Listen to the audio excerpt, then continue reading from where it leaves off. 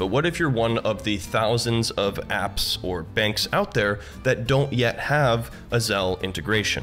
Well, the good news is there's a workaround here using the separate Zelle app and linking a Visa or MasterCard debit card, so let's dive into that now.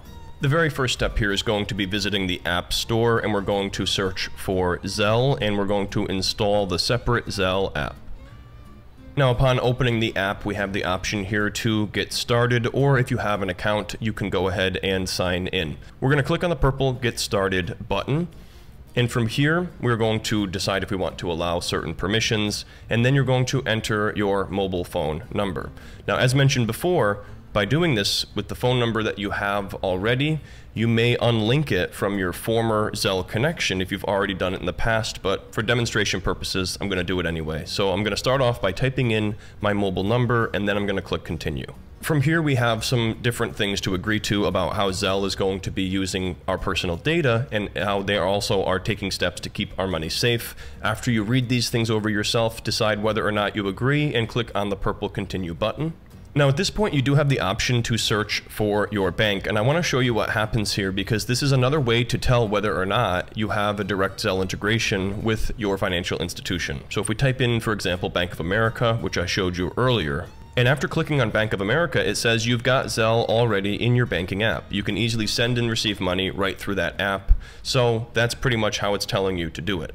So if you have any doubt in your mind, that's the best way to do it. But this right here is a fintech company that I'm actually an angel investor in called Yotta, and they don't have a Zelle integration. So I'm going to type in Yotta and show you what happens when you don't have a direct integration. I typed in Yotta and it says, sorry, we can't find the bank you're searching for. I'm going to click on the purple button here that says don't see your bank. At this point, you're going to supply them with your email address. Then we're going to click on the purple continue button, and just like before, we're going to validate the code that was sent to our email.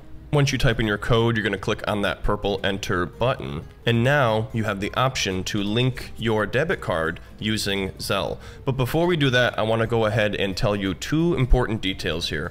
First of all, if you have an American Express card, even if it's a personal or business one, they are ineligible for Zelle enrollment. It either has to be a Visa debit card or a MasterCard debit card. Another important detail to be aware of is that all business debit cards are unfortunately ineligible for Zelle enrollment at this time. So if you are a business owner or you have business bank accounts that you're looking to use Zelle with, your only option is to use the direct integration like I showed you earlier, and you just unfortunately can't use your debit card at this point in time.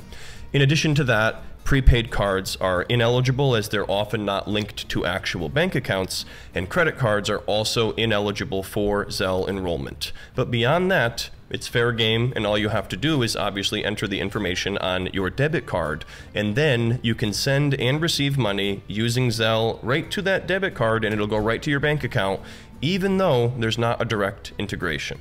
So once you type that information in, you're going to click on the purple continue button, and you're also at this point going to fill out your billing address. Once you fill that out, you're going to click on the purple continue button. And just like that, you've linked your debit card to your Zelle account. Now, if you run into any issues, you might want to explore whether or not you're trying to use a business debit card or something like that, and make sure you're not using a prepaid card as well. But for the most part, this should work just like the steps we showed you.